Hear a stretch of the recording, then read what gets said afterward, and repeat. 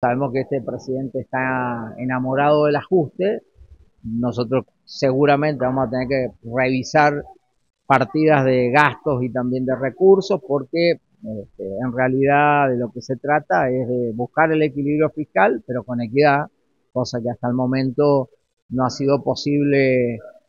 este, materializarlo desde el gobierno de la nación, que sabemos que el ajuste ha terminado recayendo en los sectores de menos recursos. Eh, y bueno, una enorme preocupación por esta suerte de advertencia, eh, opresión,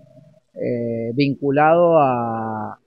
la aspiración de que los gobiernos provinciales hagan un supuesto ajuste de alrededor de 60 mil millones de dólares. La verdad, una locura toda vez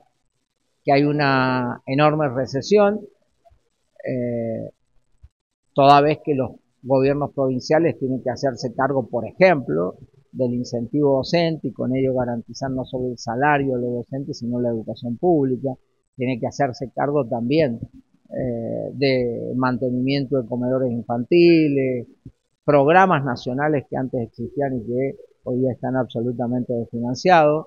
de la obra pública que genera puestos de trabajo y también, digo, este, acá en la provincia de San Juan tiene un impacto social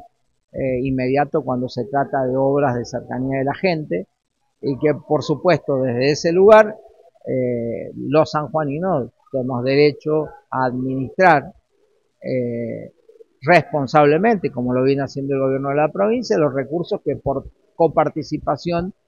tiene asegurado la provincia y por supuesto los que recauda, digamos que tienen que ver este, con, con los medios locales.